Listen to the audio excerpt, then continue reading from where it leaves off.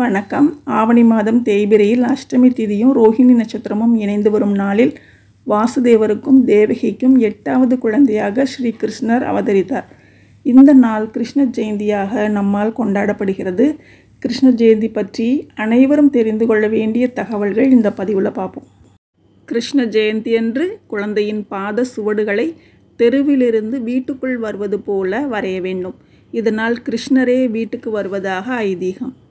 கிருஷ்ண ஜெயந்தியன்று ஸ்ரீ கிருஷ்ணனின் திருப்பாதத்தை வீட்டில் ஏன் கோலமாக வரைகிறோம் அப்படிங்கிறதுக்கு ஒரு புராண கதையே உள்ளது.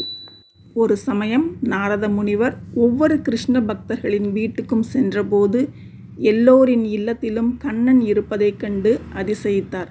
அதே போல் பிருந்தாவனத்தில் ஒவ்வொரு வீட்லேயும் கிருஷ்ணர் வந்து ஆடி பாடினர். ஒரே நேரத்தில் ஸ்ரீ கிருஷ்ணர் அனைத்து பக்தர்களையும் பார்த்து அவர்களை காப்பார் என்பதை குறிப்பதற்காகவே ஒவ்வொருவர் வீட்டிலும் கிருஷ்ண ஜெயந்தி என்று கிருஷ்ணரின் திருவடி கோலம் வந்து போடுறாங்க. நம் வீட்டிலும் கிருஷ்ணரின் பாதங்கள் பட வேண்டும் என்பதற்காகவே கிருஷ்ண ஜெயந்தி பண்டிகையை ஆண்டுதோறும் கொண்டாடுகின்றோம். கிருஷ்ண ஜெயந்தி அன்று விரதமிருந்து பக்தர்கள் கண்ணனை வழிபடும்போது நாம் தெரிந்தும் தெரியாமலும் செய்த பாவங்கள் விலகும் என்பது ஐதீகம்.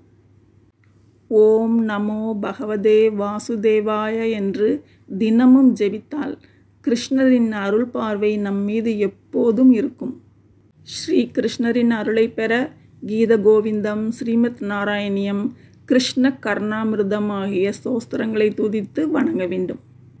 கிருஷ்ண ஜெயந்தி என்று சிறுவர் சிறுமிகளை கண்ணன் ராதை போல வேடமிட்டு ஆராதிப்பது கூடுதல் பலன்களை நமக்கு பெற்றுத்தரும். இப்படி வேடமிடும் குழந்தைகள் புத்திசாலிகளாக திகழ்வார்கள் என்பது ஒரு நம்பிக்கை. ஸ்ரீ கிருஷ்ணர் நள்ளிரவில் பிறந்ததால் கிருஷ்ண ஜெயந்தி அன்று இரவு வழிபாடு நடத்துவது உகந்தது.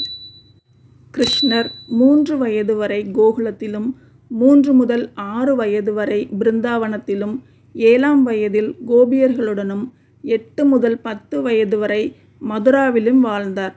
கிருஷ்ணர் இளம் வயதில் கோகுலத்தில் வாழ்ந்ததால் அவர் அவதரித்த கிருஷ்ண ஜெயந்தியை கோகுல அஷ்டமி என்று அழைக்கிறோம்.